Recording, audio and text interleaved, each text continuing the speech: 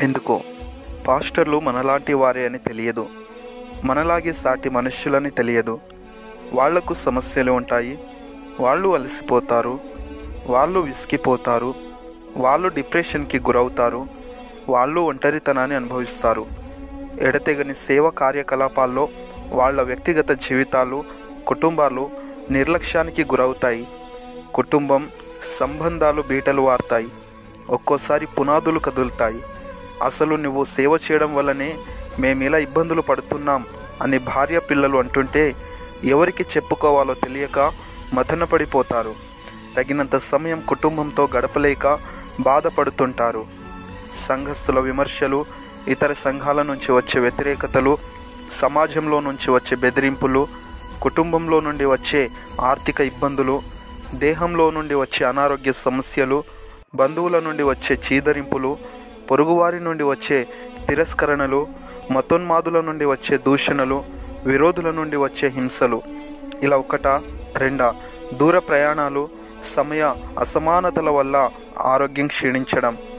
Pastor భార్య పిల్లలు అనుభవించినంత ఒంటరితనం క్షోభ మిగతా వారికి ఉండదు. కానీ క్రీస్తు కోసం వారి జీవితాలను త్యాగం చేస్తారు.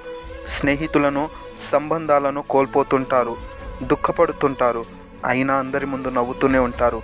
ఒకవైపు అనారోగ్యంతో బాధపడుతున్నా మరోవైపు సంఘ క్షేమం కోసం ప్రార్థిస్తుంటారు.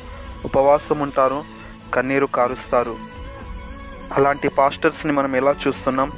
తిడుతున్నాం దూషిస్తున్నాం అపహాసిస్తున్నాం అవమానిస్తున్నాం నిందిస్తున్నాం వెక్కిరిస్తున్నాం చిన్న చూపు చూస్తున్నాం పలువురిలో పరువు తీస్తున్నాం. మనకంటే గొప్పగా ఉంటే సహించలేము. బీదగా ఉంటే పట్టించుకోము. హెచ్చరికగా వాక్యం చెబితే ప్రేమ లేదంటాము. నెమ్మదిగా చెబితే ఉద్యమం లేదంటాము. నవ్వుతూ చెబితే రోషం లేదంటాము. ప్రార్థన కూటములు పెడితే పని లేదంటాము. పెట్టకపోతే భారం లేదంటాము.